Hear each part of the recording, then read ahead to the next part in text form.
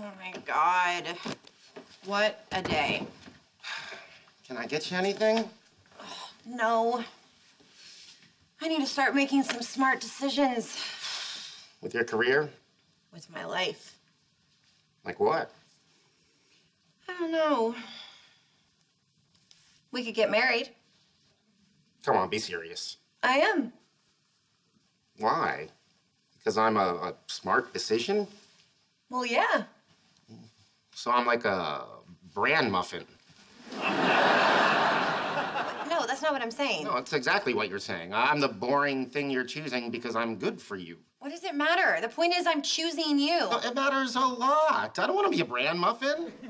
I, I want to be a Cinnabon, you know? A, a strawberry Pop Tart.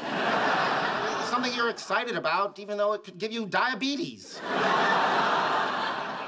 Sweetie, you can be any pastry you want. No, no, no, no, it's too late. I, I'm your bran muffin, probably fat-free and good for your colon. You know what? Forget it. I never should have brought it up.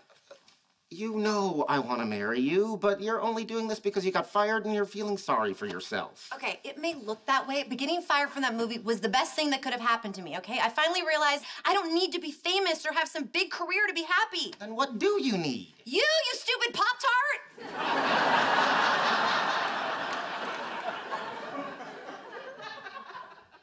Oh. then I guess I'm in. Really? You guess you're in? Not like oh, I guess I'm in. Like I, I guess I'm in. Okay, cool.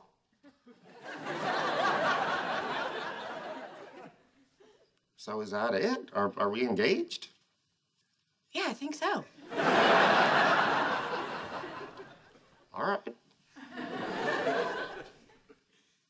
What's wrong? I'm not sure. It just feels a little anticlimactic.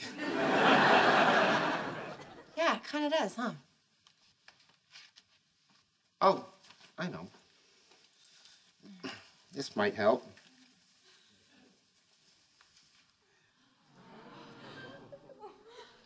Where did you get a ring? I had it for a couple of years. Not important.